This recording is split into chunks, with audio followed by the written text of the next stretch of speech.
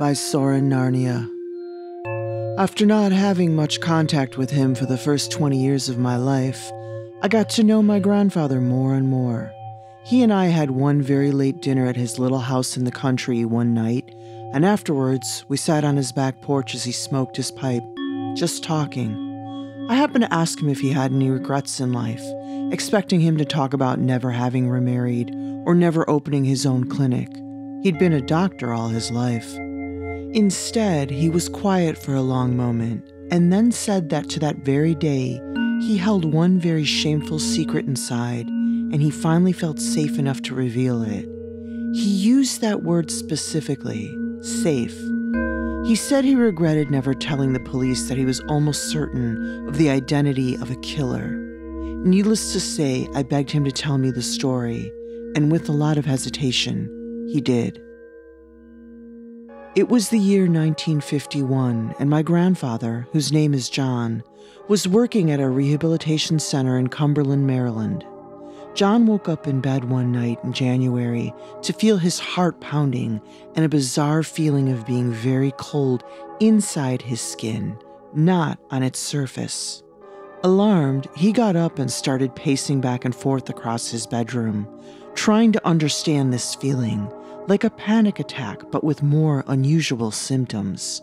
Before it fully subsided, he happened to look out his window at his front yard and the winding road beyond it. There was someone standing there at the curb. It was a little before two in the morning, and it had begun to snow very lightly. John put on his robe and his shoes and opened his front door. The woman out there didn't move. She was holding one arm up at her side in a strange way. John called out, but she didn't answer. As he moved closer to her, he heard a small sound and realized that the woman was wearing little finger bells and she was clanging them softly as she stood in the snow. She wore tattered shoes and a ragged brown dress. She looked very young, in her twenties, and had a plain face and unstylish hair. John asked if he could help her, but she only looked at him and clanged her little bells. She wasn't shivering at all. She seemed to want to be where she was, but he told her to follow him inside so he could call someone to come get her. She followed willingly enough as she spoke very soft words under her breath, not mumbling, but whispering.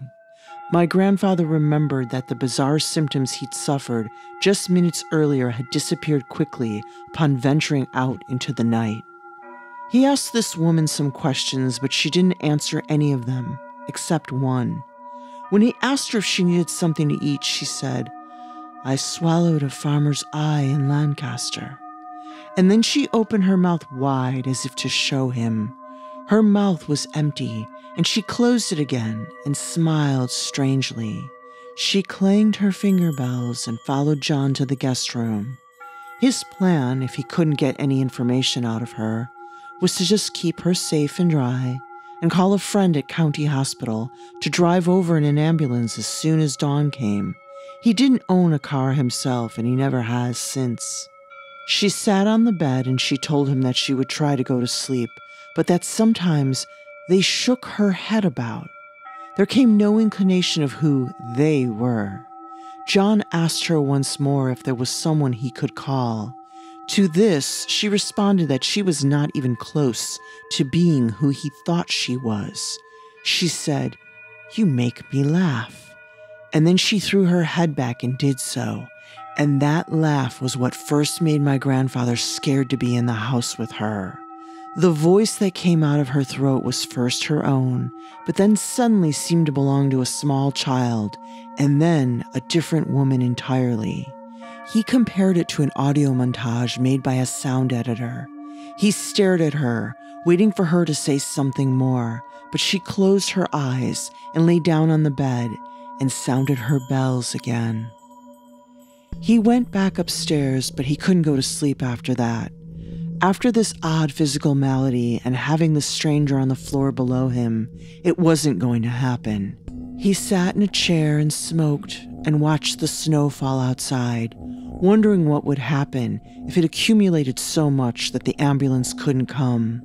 Two hours passed and his eyes were getting heavier and heavier when he heard the shaking of those finger bells again, and it didn't sound like they were coming from the guest room.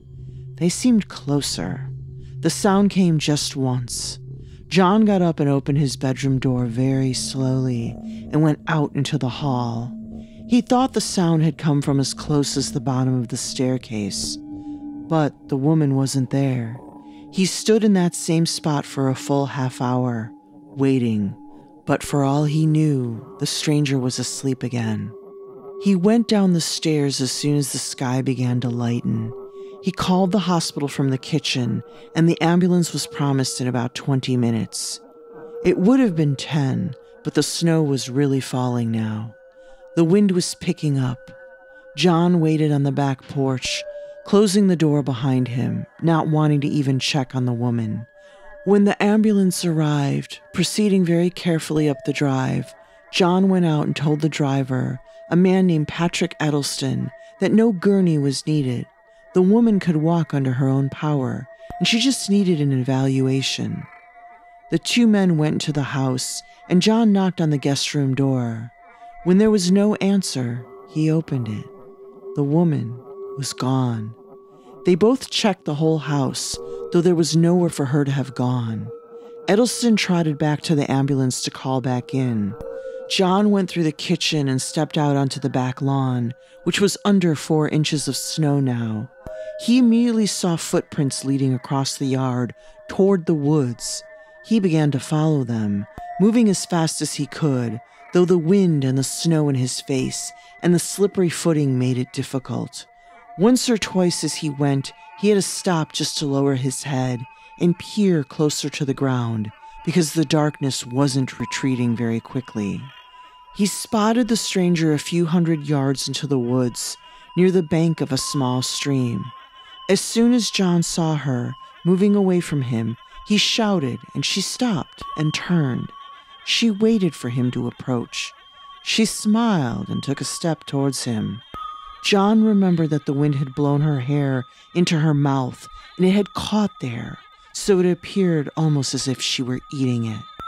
He had to lean in to hear what she said to him, which was just a single sentence.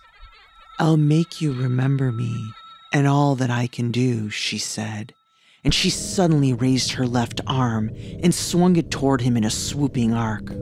He felt her hand connect with his right cheek hard, and then, unfathomably, he swore as an old man that he had felt her fingers puncture his cheek entirely, tearing right through the flesh, and he could feel her fingertips touch his teeth and those cold little bells digging against his face and the open wound.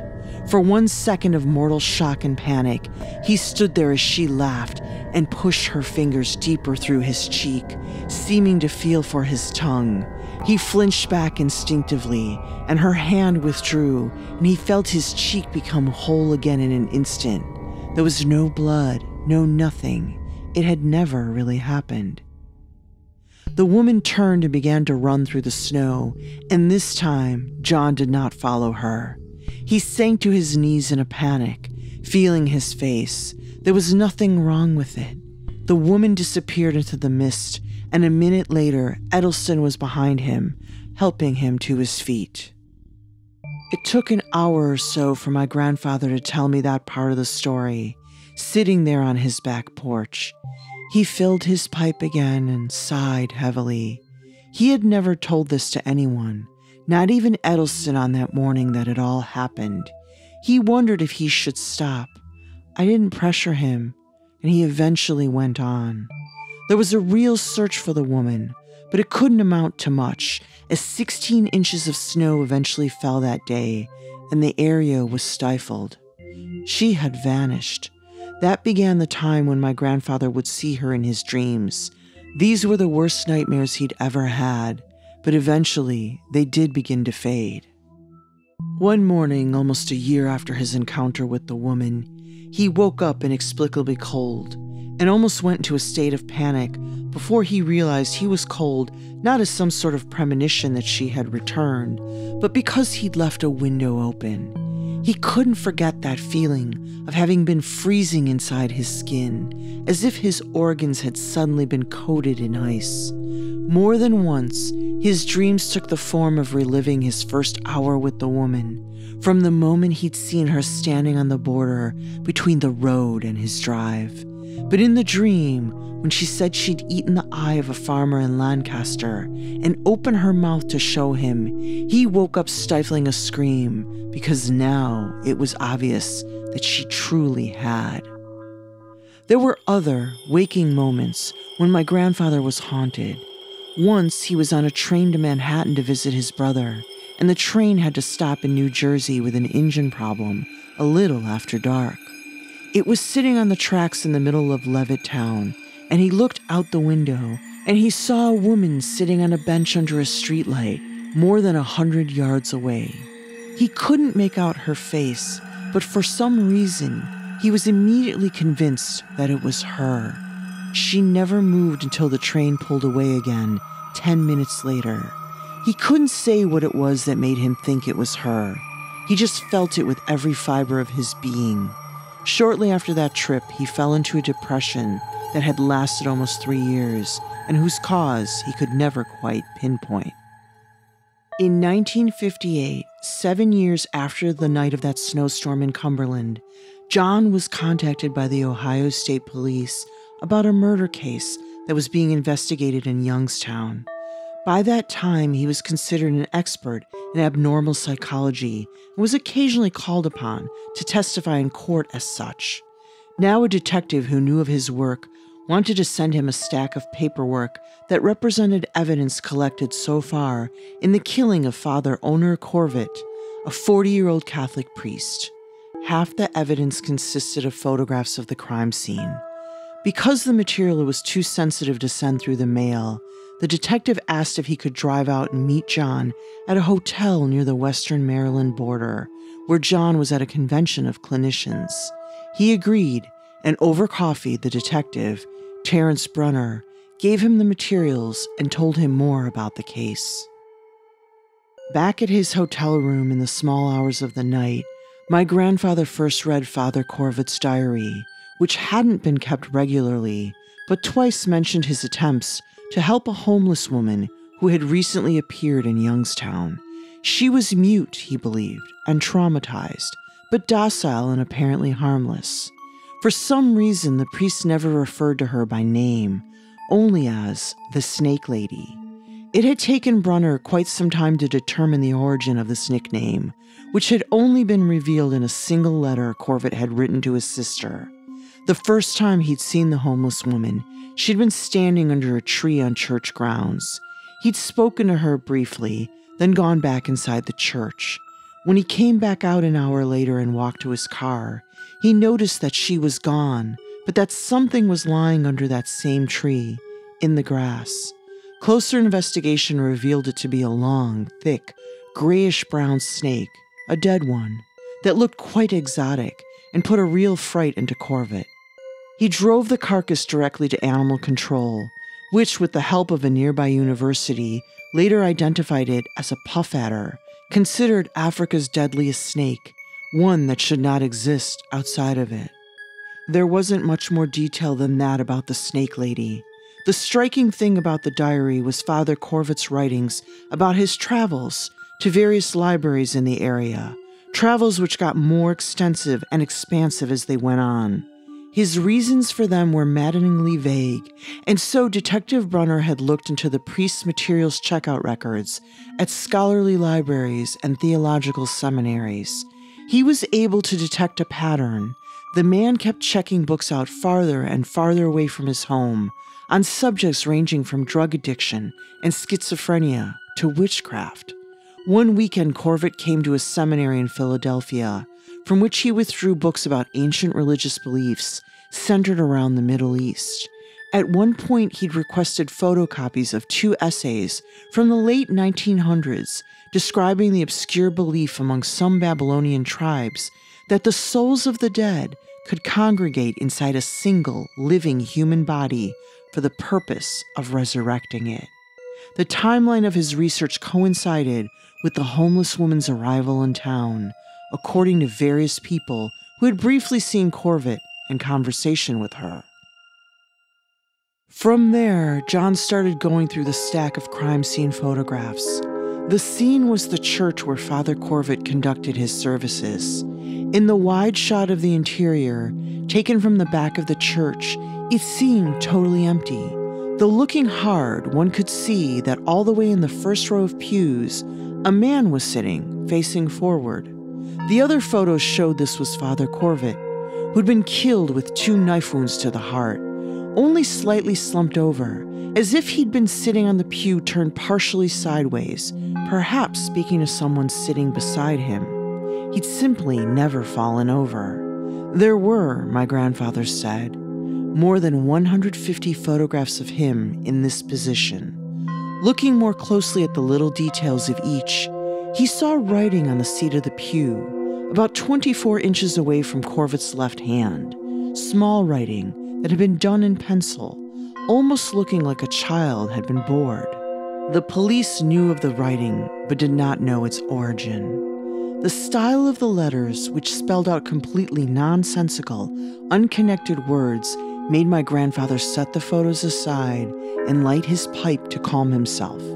He called Terence Brunner to see if maybe he had not yet left the area. He hadn't. My grandfather left his hotel in order to walk the 12 blocks across downtown Grantsville to the police station where Brunner was meeting with a colleague. He needed to talk to the man in person because he recognized the letters the killer had printed on that pew from some faint writing his night visitor had made on the windowsill of his guest room in 1951. She'd taken a pen off a table and done it making just three or four words out of nothing and putting odd looking accents over the H's and V's. The streets were very quiet. My grandfather was walking across the little town square when everything around him started to lose its color all at once. The color bleeding out of every tree and street sign and car parked against the curb, and he began to feel sick to his stomach. He was seized with a heavy, dry cough, and he made his way to the closest bench, sat down, and put his head between his knees to settle down. A profound sense of dread then came over him. He sensed that something truly awful was about to happen to him, and he had just raised his head to look up and around to see if perhaps there was someone else on the street or a public place he could run toward to feel safe, when suddenly his head was flung back then forward again, as if an unseen hand had grabbed it. Forward and back, forward and back, until his neck was almost snapping, his head whipping up and down. He tried to scream, but he couldn't. He had lost all control of his body, which was almost flying off the park bench with the force of this bizarre seizure. It lasted only about five seconds, and then, dizzy and in great pain, he fell off the bench and onto the grass. No one saw his agonies. After a minute, he stood up, trying to regain his balance. Somehow he knew, he told me, that as long as he didn't take another single step toward the police station to tell them what he knew, he would be all right. He turned and began to walk back in the other direction, back where he came from, and with every step he took, more color came back into the world around him, and the pain in his neck subsided. Soon he began to run, and he was back into the lobby of his hotel in just a couple of minutes. The desk clerk offered to call an ambulance, but my grandfather said no. He told the clerk that if anyone called to be put through to his room, he should tell them he had been taken ill. He made his way upstairs and collapsed on his bed, and he remembered weeping, knowing that he could never tell anyone about the woman, ever. He would send back the crime scene evidence without a note. By intending to speak of that woman and perhaps sending the police after her, he felt he had enraged something that was in control of her. He vowed at that moment never to speak of her to anyone, for any reason, in the hope that he would be left alone. That night was the longest of his life, as he lay there and waited for that invisible hand to maybe return to strike him, strangle him, kill him. He went to church for the first time in his life two weeks later, and he fully embraced Catholicism that summer. He never stopped. That's where his story of the woman ended. Decades passed and nothing truly strange ever happened to him again. He wanted to correlate his peace with the events to his acceptance of spirituality, but he wasn't sure about it. He thought perhaps it was more about his refusal to act on his suspicions. He felt something sense that he wasn't a threat. As he grew older, his memories of the terrible thing began to fade, blessedly, just like any other memories. He told me life was so long, so very long, that the human mind could learn to endure and bury almost anything. This world was populated by people who had lost children in accidents and Holocaust survivors, but when life reached a certain duration, these things slowly, slowly faded. No matter how much they shook our beliefs, time inevitably did its work, and even though your experiences would never allow you to be the same, those slow decades labored in the dark field of the subconscious to overcome them. He dedicated himself to his work and his new family, and he simply never told anyone about what had happened. Until that night when he was 71, and he told me about it there on his back porch. I was speechless for several minutes. Finally, I asked him if he felt unburdened or, just maybe, worried that telling the story held some power. He shook his head firmly, said no, he didn't think so. All that had ended almost 40 years ago. The fact that he had never encountered anything of a supernatural nature again led him to believe that he was safe from such things, and maybe, just maybe, there was an explanation of the events that lay deep within parts of his mind he'd never explored. Still, I told myself on that night that the secret would stay with me, which was only partially to honor him. Some of that vow was due to my own fears of the unknown, the specters that the story had raised of a realm beyond my understanding. It was just better not to speak of it. I felt safer. The story was told to me in the year 1993. In 2012, my grandfather was 90 years old. We'd remained close, though I'd since graduated from college and gone on to have my own career as a doctor. I still visited him every year at Christmas, he continued to live on his own in Solomons, Maryland, a four hour drive from Cumberland. One day last December, I arrived there to stay for a couple of days, and we exchanged presents and had dinner like always. He was very healthy and of sound mind, the result of a very studious and disciplined living. I took him out to a nice restaurant in town the night after Christmas. I had to start driving back to Boston afterward. We got in the car at the restaurant and drove to his house. I remember that he had forgotten to lock his front door, which was not a big deal as he sometimes just didn't bother. Where he lived was very safe. We went into the house and he told me to go down to the basement and take a box of toys there back to my niece and nephew. I went down the stairs into the unfinished basement. There was virtually nothing down there but a big table and a chair and boxes and boxes of mementos.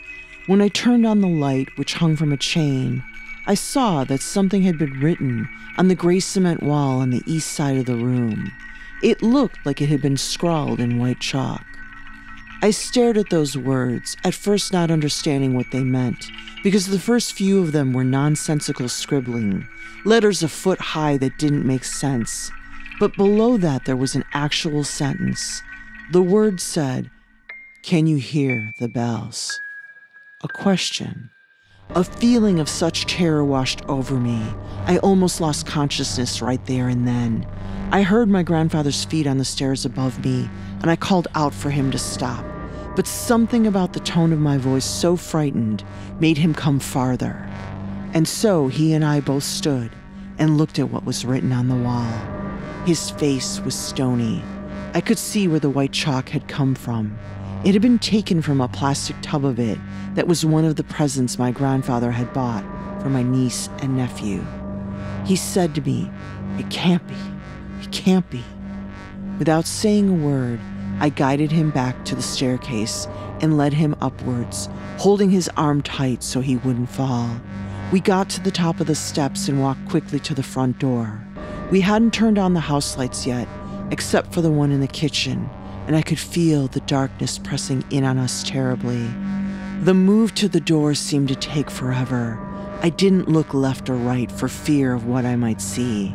I ushered Grandpa to the car and opened the door for him, and he got in. I slammed the door shut fast and I trotted around to the driver's side, and I tried to make it so that Grandpa wouldn't notice me quickly glance into the back seat in case something was there. Only when the doors were locked and the engine started did I feel safe. Grandpa asked me where we were going, and I said, I didn't know. He said, Maybe she's still here somewhere. And I nodded and we pulled out of the driveway. It was my intent to start driving us toward Boston, and we would never come back. Never. I wouldn't let him. Three turns through the neighborhood was a street called Peach Run, the road just a single lane, very quiet, and my headlights picked up a figure up ahead, a human figure. It was a small woman moving away from us. When the headlights splashed across her back, and flowed past her, and she was caught in that circle of light. She stopped. When she did, I did too, hitting the brakes. I looked for a second at my grandfather in the dark. His eyes were wide, staring through the windshield. The woman turned towards us, and then she began to walk toward the car. I told Grandpa not to move, but he had no intent of doing so. The woman was old so very old. Her hair was long and dirty, and she wore a plain dress that was almost more like a sack. She was wearing old tennis shoes. When she walked, it was with a marked limp. My eyes went to her left hand, and there they were. There were the bells, except that they'd become so old and rusted over the decades that they seemed to be a permanent part of her flesh, which was blackened all around them. There must have been a deep infection at one point, untreated, and now her hands and the bells were one mutated object. They made not a sound now. It had been 63 years since my grandfather had heard them in the middle of the night as he sat in his room, frightened of the same woman who had never forgotten him. She looked even older than her years, ancient as sick as it's possible for a living human being to look. But at least she was mortal. She had aged, and eventually she would have to die, freed of whatever controlled her, freed of whatever horrible things she had done over a stretch of time so long I can barely conceive of it. Where had she traveled? Who had she killed without anyone ever locking her away somewhere for good? She staggered forward, three more steps, until we could see every detail of her withered body. She had no expression on her face, only stared blankly like a statue. I heard Grandpa emit a small wheeze as he began to have more difficulty breathing. I took my foot off the brake and hit the gas pedal then, and we swerved around her and sped up, and I took a sudden right turn that led us to the main road. When we got there, I drove us well over the speed limit to the highway, and we were on it in three minutes. I kept saying, It's okay. It's okay. It's okay. And Grandpa said nothing. Nor did he say anything for almost two hours when we finally pulled into a gas station. I turned off the radio and he sat with tears in his eyes, gripping the door handle tightly. Finally, he said he was all right, that he was okay, and he was. He died six months ago of viral pneumonia, only eight months after leaving his house that night, which neither of us ever returned to. He moved in with me and my wife and my kids, who were only too happy to have him.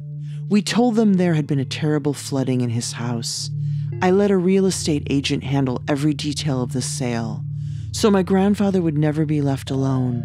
I hired a full time assistant to help him around the house, even though he didn't need it. He accepted the helper without complaint. And how many nights have I spent wondering how long it will take for that woman to die so that there's no chance I'll be walking alone one night and feel her presence and turn and see that she somehow found her way to Boston, wanting to demonstrate to me that she is not who I think she is. I'm not as mentally strong as my grandfather. I know it. I know my mind would break if she were to touch me, if she were to reach out to me in the dark with a hand that had fused with bells that would never sound again.